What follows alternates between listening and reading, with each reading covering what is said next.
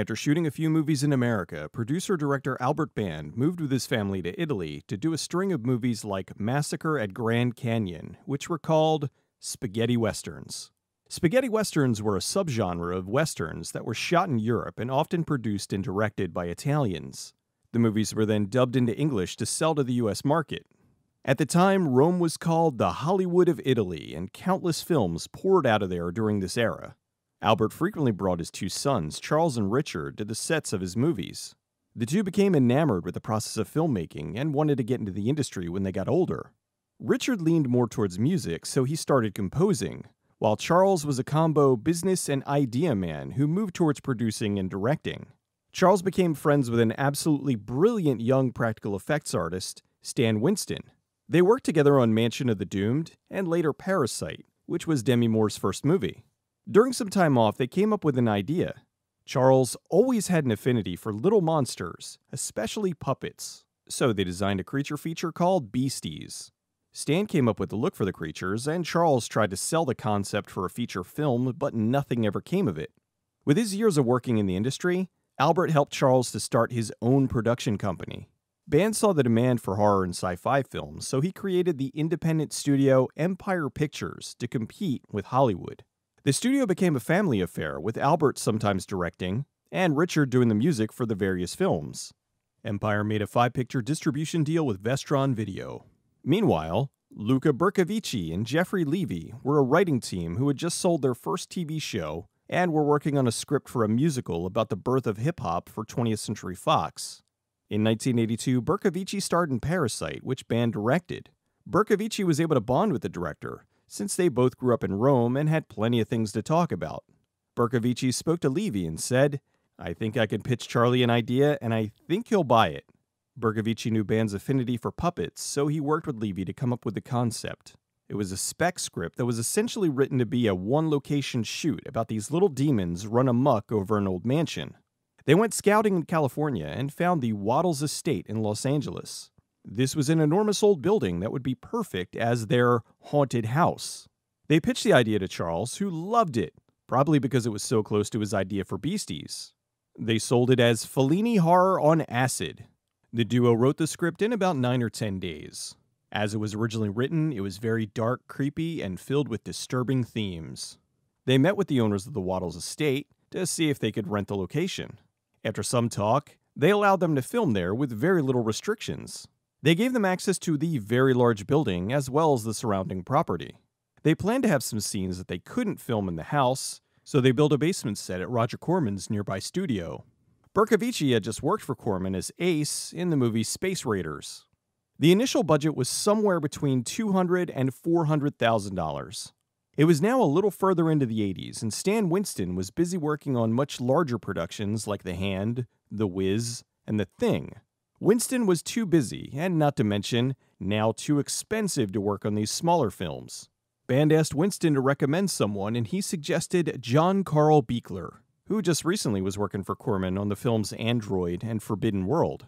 Buechler got his start in the industry working with Stan Winston on The Island, as well as with Rick Baker on The Incredible Shrinking Woman.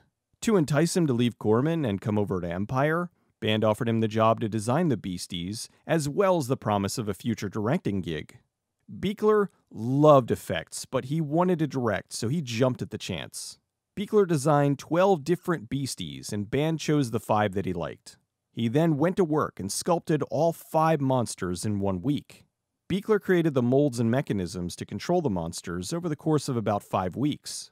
During that time, Charles made good on his promise so Buechler did the makeup effects and directed a segment in the anthology Rage War, aka The Dungeon Master. In the original script, the monsters would kill people with an axe. Buechler thought that was boring. How many horror movies are there where the monster kills someone with a weapon? So he suggested the creatures kill people in unique and fun ways, like having two beasties throw another at someone who claws and bites them to death. It was better than just having another person get decapitated. The director started looking into rituals and planned to use excerpts from real rituals to make the ones in the movie feel authentic. It was going to open with a child sacrifice, which would set the tone for this to be a very dark movie. That all changed when the director saw the monsters. Buechler was off designing these little creatures, and when the director saw them, He started laughing. It hit him. This movie should be a comedy. Buechler was offended. He said, No, these creatures are scary. The director took one of the beasts and said, John, no, they're not. In fact, they look like you. The director then went back to the script and added in a bunch of little silly moments, which instantly changed the overall tone. This was about two weeks before they started filming. After the modest success of Parasite 3D, Band thought there might be a new demand for gimmicks, like in the William Castle days. Band had big plans for the movie. Initially, he wanted to sell it as the film with the most gimmicks in the history of cinema. He was going to have baseball cards, smell-o-vision, and the movie was going to be in 3D. With the change in tone, they decided to recast the film. They wanted some unique offbeat characters for the movie. Johanna Ray, who would later work with David Lynch, brought in a new group of actors more suited for the film. The two biggest were Jack Nance from Eraserhead and Michael Des the actor who was also a musician. He started working in the industry, mostly doing TV shows like Wacko, and was the lead touring singer for the Power Station. He also wrote the song Obsession, which was a massive hit for the new wave band Animotion. The lead character in the movie was Jonathan Graves, played by Peter Liapis. Originally, Jeffrey Combs auditioned for the role but lost out. No matter though, band remembered him, and he was later cast as Dr. West in Reanimator. The two little people in the movie were Peter Risch and Tammy De Treaux, who was one of the actors in the ET suit. After about five months of pre production, filming started in January of 1984.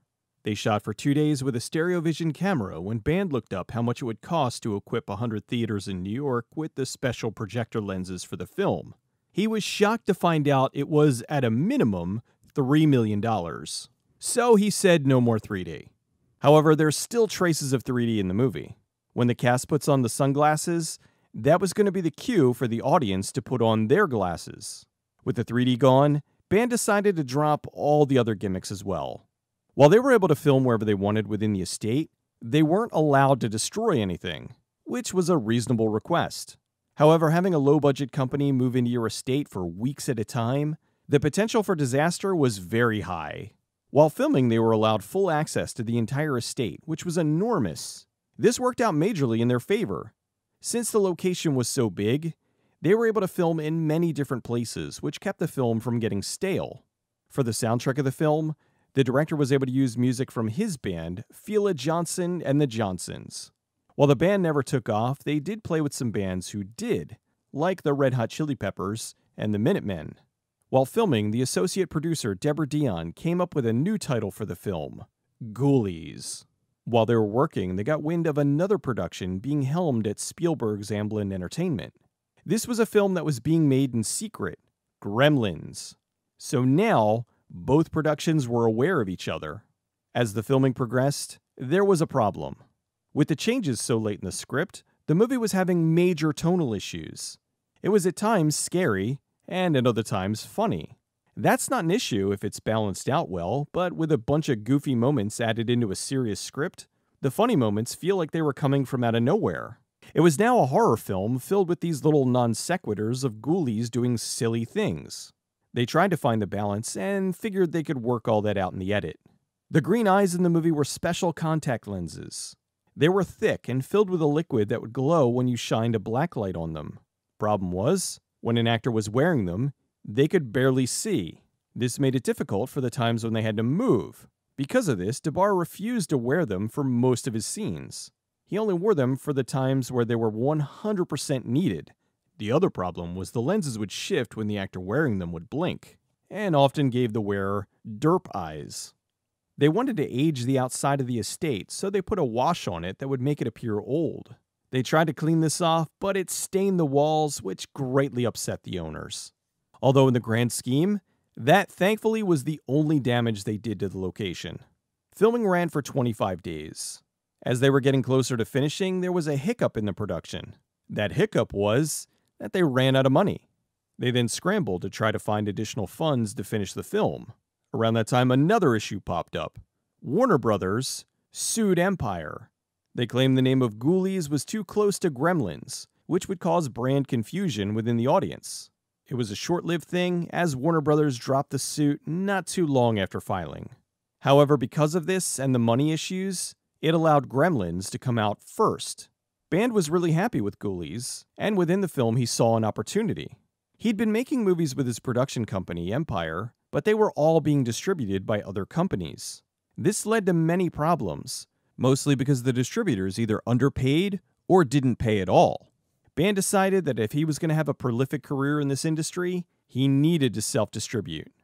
He wanted to take this opportunity to make Empire a fully functional production studio and distributor. Only Band was unsure as to what to do. He got in touch with his friend Gary Allen, who put him in contact with an old school New York show business veteran. He asked him if he'd be willing to mentor him in exchange for a small percentage of the film's profits. Band sent him a copy of Ghoulies, and he got a call back. He told him he liked the film, but it needed a good marketing hook. He told him he'd need a solid ad campaign, which would run about $400,000. Then he'd be able to get the film into about 100 theaters in New York, and the prints would cost around $120,000. You gotta get people's attention. You go big in New York, and that opens all the doors for you to go nationwide. Band was nervous. The distributor told him, You gotta have balls, kid. If the movie works in New York, you'll make millions of dollars. What if it doesn't work? Well, then you're fucked. He emphasized, though, if you lose, at least you gave it a shot. Band decided to go for it. He met with Allen to work on the marketing. Allen was the editor for the Star Wars trailer, so he knew how to sell a movie. Gary Allen was a marketing genius. He saved It's Alive by redoing the ad campaign three years after its initial release. It went from flop for Warner Brothers to a huge box office hit that spawned two sequels. The two talked for hours when Allen came up with an idea. You get a ghoulie coming out of the toilet with the tagline Ghoulies! They'll eat your ass! Band looked at him and said, That's the worst idea I've ever heard. Allen was like, Sure, but have you ever seen that before? The next day, Band was considering it. He went back to Allen's place and said, You know what? Let's go for it. Allen said, Great, but that other line stinks. I've got something much better. Ghoulies. They'll get you in the end. Band went out, bought a toilet, and they did a photo shoot of a ghoulie in the can. They did a test screening, and the audience was angry there was no ghoulie coming out of the toilet. So they went back and shot this little two second insert and put it into the film. Allen cut a green band trailer, and he made sure to include the toilet bit. The marketing went over better than any of them expected. Ghoulies opened on January 18, 1985. The movie played in 100 theaters in New York and it went over huge. By Friday, Band knew he had a hit on his hands and spent the weekend thinking about the future. It made over a million dollars, which was huge for a tiny independent film in 100 theaters. Band went to the office on Monday and his receptionist had a sour look on her face. She told him things were bad and he needed to go to the mailroom. He gets there, and the mail lady says, We got a big problem, and dumped out a bag filled with letters. She said, There's more of them, and they're all like this. Like what? Band opened a random letter, and it read something along the lines of Dear Hollywood asshole, We've been trying to potty train our kid for a month, and your stupid ad campaign scared him so much he refuses to go into the bathroom. Die, die, die, die, die. Initially, Band felt really bad. The ads were playing during Saturday morning cartoons, and he didn't intend on scaring kids. Band called the show business veteran to ask him what to do. He said, You got two choices change the campaign or keep it. Keep in mind, a big reason people are going to see the movie is the ghoulie in the toilet. You might kill your golden goose. Band thought about it and said, Fuck it, let it ride. He chose wisely. Ghoulies went on to make close to $35 million in the box office and even more on home video and cable. Keep in mind, this is back in the day when an average movie ticket would cost you $3.36. It did so well, one weekend it outgrossed Beverly Hills Cop and Rambo. In the domestic box office, it outgrossed Teen Wolf, Fright Night, and Weird Science. Critics hated it, but that didn't matter. 90% of the time, critics trashed anything horror related. The movie was a major success for Empire, and with the money they made, Empire was able to continue, and Band was in the self distribution business. With Ghoulies being such a success, Band offered Bercovici and Levy a three picture deal. There was a dispute over money, and so they turned down the deal and signed a three picture deal with Cannon. which led to them doing the comedy Rockula. Unfortunately, Cannon went under shortly afterwards, and they were never able to make their other two films. Buechler continued to work with Band and was able to make his full feature directorial debut with Troll.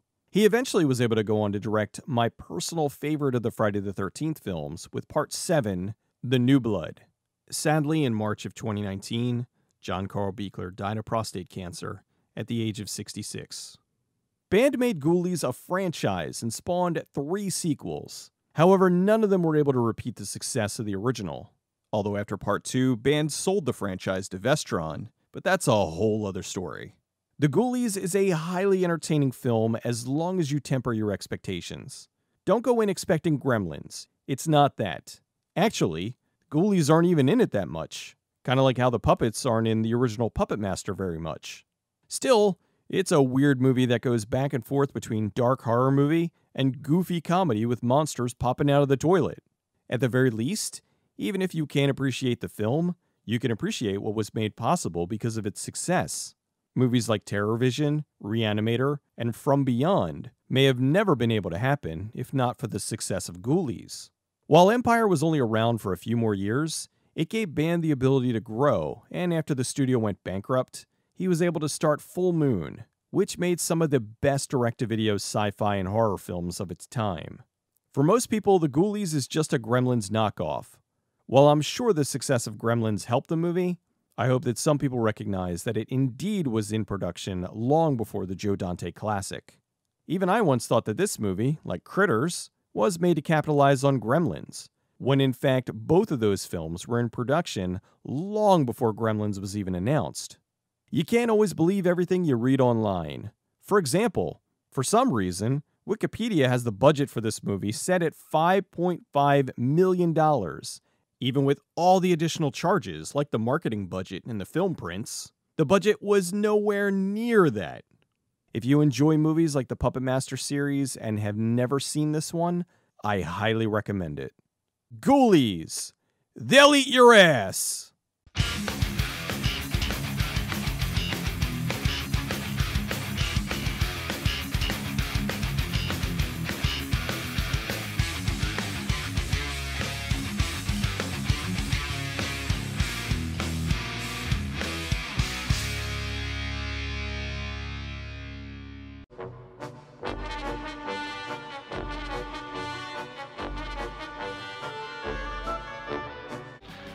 Beautiful friend? I'm Donna.